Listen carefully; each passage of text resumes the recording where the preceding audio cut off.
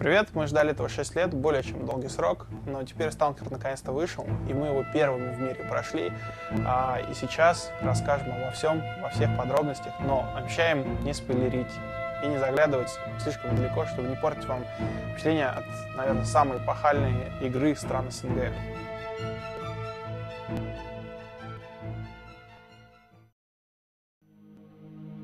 Для меня в «Сталкере» соединено все, за что вообще стоит любить и уважать компьютерные игры. Сталкер, он напомнил мне, что вообще значит играть. Это настоящий олдскульный проект. Это игра, которая вызывает те же самые ощущения, которые могли вызывать игры ну, лет 10-15 назад. А ты играешь с компьютером, ты хочешь, чтобы он тебя удивил, что-то необычное. Не шутка, 6 лет делать проект, три раза менять у него движок – наверное, раз 20 просто переносить срок выхода и после этого сделать игру такого уровня. Это реально впечатляет. Э, так должны делаться вот игры ну, реально с большой буквы.